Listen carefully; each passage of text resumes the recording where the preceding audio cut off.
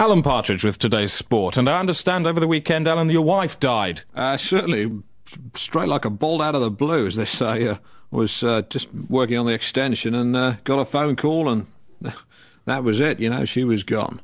Certainly. There's an inevitable psychological backlash which could last up to 10 years. Yes. Uh, well, certainly, I'm you know, hoping it's going to be a bit shorter than that. I've seen a, a guy for counselling and um, trying to sort of keep things in perspective, certainly, keep things together the important thing. Still, nice to have a bit of time to yourself. Yeah?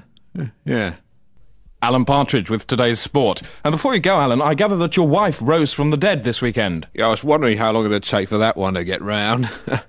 yeah, I was uh, doing a spot of decorating, and uh, right like a bolt out of the blue, uh, there was my wife, you know, with a couple of other members of the, the living dead. Any um, smell involved?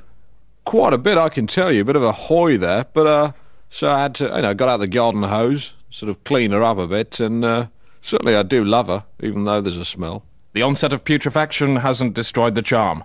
Yeah.